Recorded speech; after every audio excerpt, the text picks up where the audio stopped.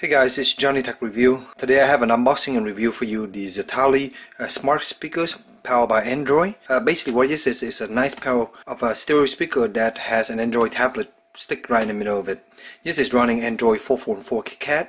So you get your typical Android experience, everything including a camera, you have wireless, all that stuff, and the speakers on the side here. A powerful hi-fi sound, Android touch interface, internet and music videos. You get app from the Google Play and it's portable and rechargeable.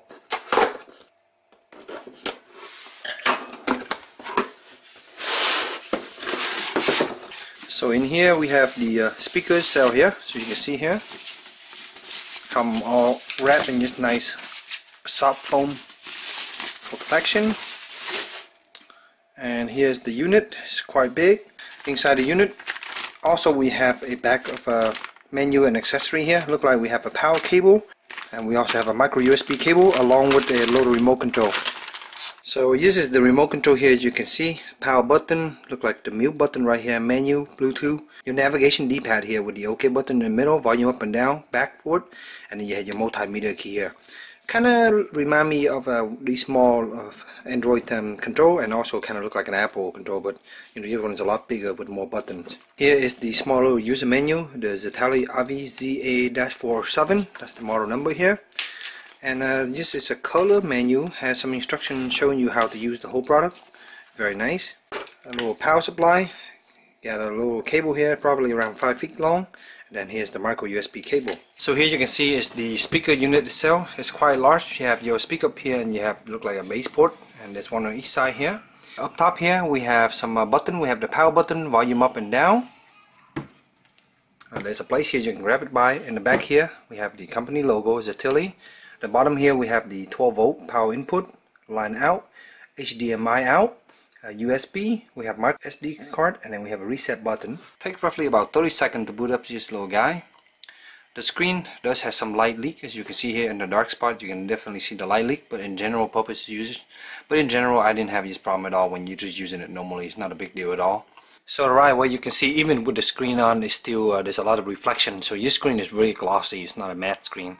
Go ahead and select English here do the setup process. So here we can see uh, pick the wireless setting.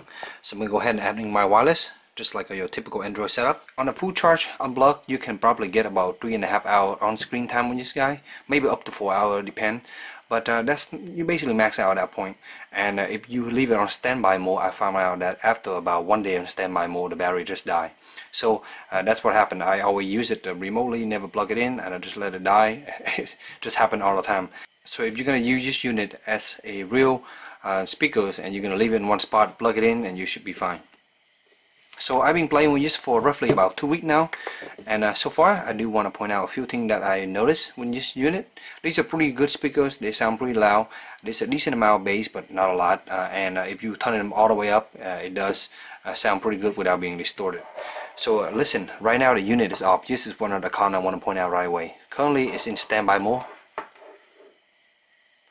Ignore the insect noise outside but listen to that little buzzing noise. You hear that? Look like the battery's being charged or something. Uh, something's going on in the back, but that's the noise it made. However, as soon as you get it out of standby mode, that noise went away. So anyway, let's get into the unit. Here is the default launcher.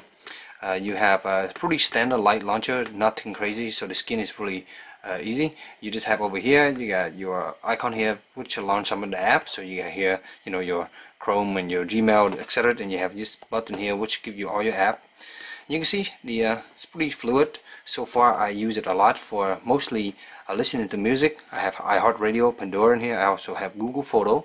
And down here I have some Vietnamese music that I can use. And then uh, you know I have my camera system over here which is also works fine. Uh, so just come with Google Play uh, and it's worked perfectly fine. You got your Google Store. You can download whatever you want. Here's YouTube for example. Kind of give you an idea how fast this launch it's quite fast.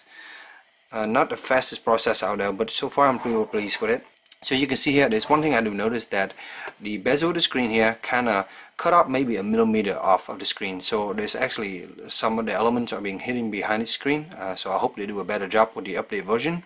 And you can see here, here are some of my videos. Uh, we can just click on it one real quick here. So up top here you have this volume button. I can just adjust. Hey guys, it's Johny Tech Review. Today I got a quick review for you. Use uh, Yunteng uh, monopod selfie sticks. So one thing I noticed when this device is that this screen is a 1024 by 600 for viewing videos and watching um, little small movie clips here and there. It works quite well. The resolution is not that bad. The viewing angle is decently okay. Um, if you turn it about this much, you can see you kind of lose some light uh, up and down, kind of the same. But other than that, it, uh, you know, it's a device here. It works pretty good. Uh, one thing I do notice that because of this resolution, for example, if I try to play a 4K video uh, in YouTube, it won't even let give me that option. So I think YouTube's detecting that I don't have a screen resolution that high. So uh, the max I can do on this guy is 720p. So that kind of give you an idea. So in the positive note is that you know all your video will load a little bit faster instead of 1080p because the screen is not really that big to support that kind of nice resolution. So and you can see here, this is what it look like, and I'm gonna play this video right now. Kind of give you an idea of the volume. Your tripod lamp. You can see here, look really nice. I'm gonna get closer here. Uh, these things are made out of soft little plastic and uh, paper. Uh, you can hear, sound really clean and really nice. So I'm gonna play some music, kind of give you an idea of what these, these speakers sound like. So here I have Google Music up with some test song. Here we go.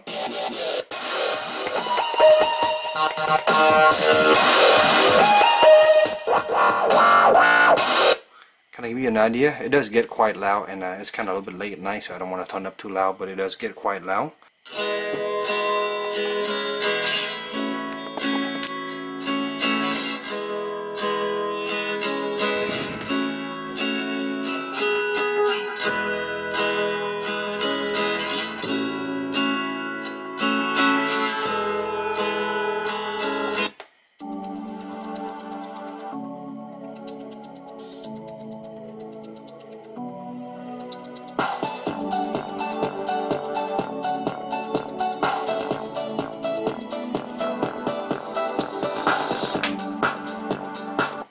To me the unit is an angle it's exact angle and there's no way you can change this. So definitely this unit is good at uh, basically eye level. So if you have it too low you end up have to tilt it over to kind of get a straight look at it. So if you have it up a little bit higher at eye level it's going to work out really well for you. The speaker sounds really good and uh, to me they, they, don't have any distortion or crackle which uh, is quite nice so this unit is basically a full capable Android tablet with two really nice speakers. You even have a little camera here and the camera resolution is uh, kind of crap. It's like VGA camera is really bad. It's not even that good. But there's a camera though, so if you want to make a Skype call, you can also do that. Uh, so far the unit is being pretty snappy. I have it for over two weeks now and I've been using it uh, roughly to watch video, basically media consumption, uh, music, those kind of thing.